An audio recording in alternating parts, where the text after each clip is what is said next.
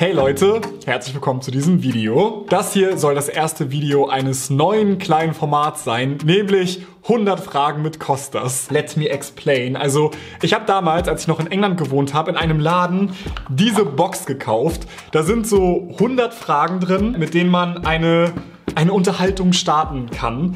Und ich hatte diese Idee schon vor Ewigkeiten und ich dachte mir, es wäre richtig cool, in jedem Video eine Frage davon zu besprechen. Das ist wirklich lustig, weil die Fragen echt so eine komplette Range an Themen haben. Es gibt manche, die sind richtig oberflächlich, bis hin zu welchen, die einfach ultra deep sind. Ich wollte das auch gerne machen, weil ich ja damals mein Kurz hatte, in dem ich so die Möglichkeit hatte, einfach über verschiedene Dinge zu sprechen, die mir passiert sind. Jetzt gerade passiert nicht viel, weil einfach fucking Corona noch immer ist, aber ich habe trotzdem so das Bedürfnis, mich auszudrücken und über Dinge zu reden. Gut, dann würde ich sagen, starten wir mit der ersten Frage. Und zwar die, die ich mir für dieses Video ausgesucht habe, ist Can incompatibility ever be a strength in a relationship? Also auf Deutsch, ich habe hier meinen Laptop für ein paar Notizen, kann Inkompatibilität je eine Stärke in einer Beziehung sein? Was denkt ihr? Also als erstes fällt mir dazu der Spruch ein, Gegensätze ziehen sich an. Ähm, Ich habe das mal gegoogelt, also was bedeutet Inkompatibilität? The condition of two things being so different in nature as to be incapable of coexisting. Koexistieren klingt auch wie, sie können nicht gleichzeitig existieren. So wie Voldemort und Harry. So, einer muss sterben, damit der andere leben kann. Und das fand ich sehr dramatisch. Aber ja. Kann man so unterschiedlich sein, dass es nicht miteinander funktioniert oder kann dieses unterschiedlich sein auch eine Stärke sein? Ich habe mich bei Inkompatibilität ein bisschen an der Definition und am unterschiedlich sein orientiert. Natürlich kann gleich sein auch inkompatibel sein. Ne? Wenn einfach zwei Leute richtige Streithähne sind, kann das auch inkompatibel sein. Ich weiß, dass das nicht deckungsgleich ist, aber ich finde, alle Sachen, die jetzt im Video kommen, sind trotzdem schlüssig deswegen. Ich glaube schon, dass es wichtig ist, dass man in einer Beziehung gleiche Grundwerte hat. Ähm, oder generell so die Werte, nach denen man lebt, sollten, glaube ich, schon miteinander vereinbar sein, weil ich bin wirklich jemand, der sehr offen für andere Ansichten ist, weil ich auch einfach gerne diskutiere und ich es voll spannend finde zu hören, was andere denken. Aber ich habe letztens so einen Tweet gesehen, der das ganz gut zusammengefasst hat, denn ich finde, auch da gibt es Grenzen. We can disagree about pizza toppings or what shoes to wear, but never about human value. Und ich finde, das fasst es einfach gut zusammen. Keine Ahnung, wenn jetzt zum Beispiel jemand sagen würde, ja, also mich nervt diese ganze Gleichberechtigung. Ich finde, Frauen gehören an den Herd oder so, dann wäre ich so. Bitch, say what?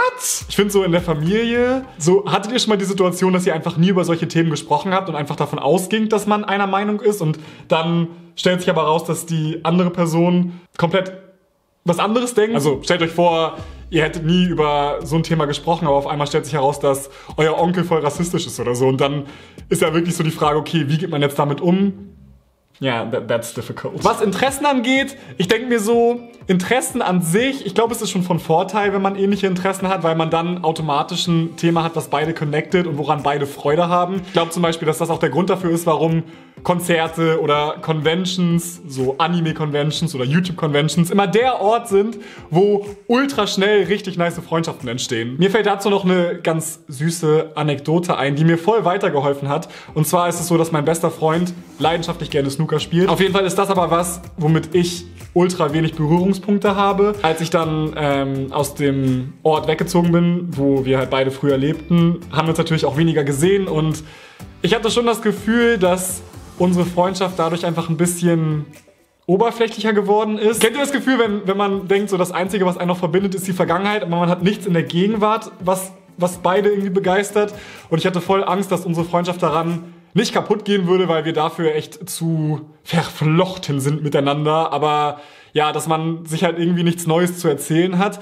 Und meine damalige Deutschlehrerin hat dann zu mir gesagt, wenn du jetzt mit der Materie an sich nichts anfangen kannst, frag ihn doch über die Gefühle, die dahinter stecken. Also versuch das auf eine Ebene runterzubrechen, zu der du auch connecten kannst. Also wenn er jetzt zum Beispiel ein Turnier hat, selbst wenn ich mich mit den Turnierregeln und so nicht auskenne, aber dass wir irgendwie darüber reden können, keine Ahnung, warst du aufgeregt, wie war die Situation für dich, hast du irgendwas geschafft, was du vorher noch nicht geschafft hast, was, was war so dein Ziel und so, dass man dann eben wieder eine Ebene findet, auf der man diskutieren kann. Das war für mich so ein guter Tipp, weil ich mir gedacht habe, yes, that should work ich würde schon sagen, dass ich relativ empathisch bin und ich mich gut in diese Situation hineinversetzen kann. Und auch wenn ich jetzt nicht weiß, wie es ist, an einem Snookertisch zu stehen, weiß ich, wie es ist, keine Ahnung, in einem Spiel ehrgeizig zu sein und gewinnen zu wollen. So wisst ihr, was ich meine? Und das ist was, was ich mir jetzt in Gesprächen mit Leuten oft zunutze mache. Was so unterschiedliche Eigenschaften angeht, kann Inkompatibilität Ich weiß nicht, ob was bezogen also inkompatibel sein, je eine Stärke in einer Beziehung sein.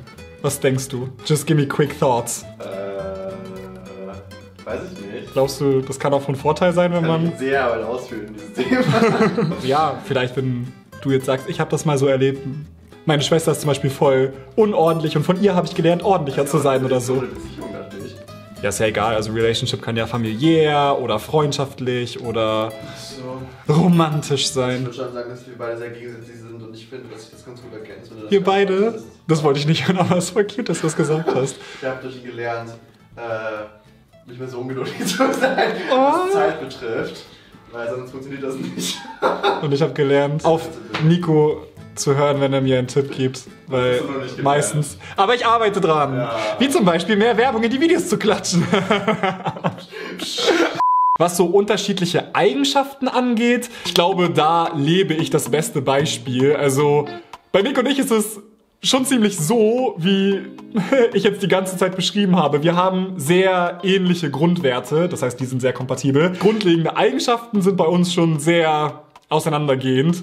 Ne, er ist eher introvertiert, ich bin eher extrovertiert, er ist voll der Kopfmensch, ich bin eher emotional, ähm, er plant gerne, ich bin gerne spontan und so. Ich denke, Inkompatibilität kann auf jeden Fall dafür sorgen, dass man aneinander arbeitet. Es kann auf jeden Fall Gesprächsthemen hervorbringen, was ich sehr, sehr wichtig finde. Wenn man unterschiedliche Ansichten auf ein Thema hat, dann ähm, ja, kann man sich eben darüber austauschen. Oder wenn man Dinge irgendwie unterschiedlich erlebt, dann kann man sich darüber austauschen.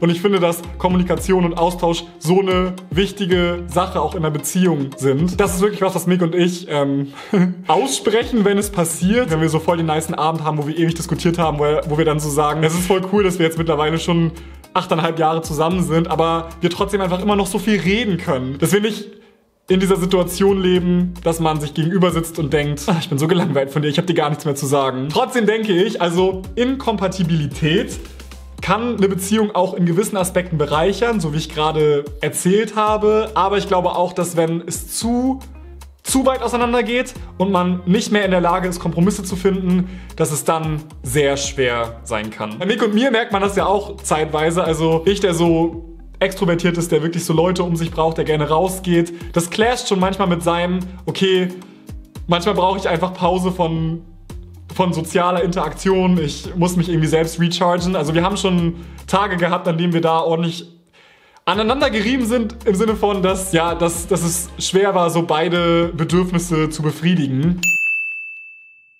Wenn das jetzt so die Skala ist, dann ist vielleicht einer hier, einer hier. Und ich bin froh, dass wir nur da sind und nicht einer da ist und einer da. Weil ich glaube, je weiter auseinander man da ist, desto schwieriger könnte das sein. Ja. Okay, das war mega spannend. Das waren so meine Gedanken, die ich zu dieser ersten Frage hatte. Ich würde es richtig cool finden, wenn ihr mal eure Gedanken dazu in die Kommentare schreibt und lasst mich gerne wissen, wie ihr die Idee von diesem, Huch, von diesem Format findet. Ich bin auch auf jeden Fall gespannt, was ihr dazu in den Kommentaren zu sagen habt.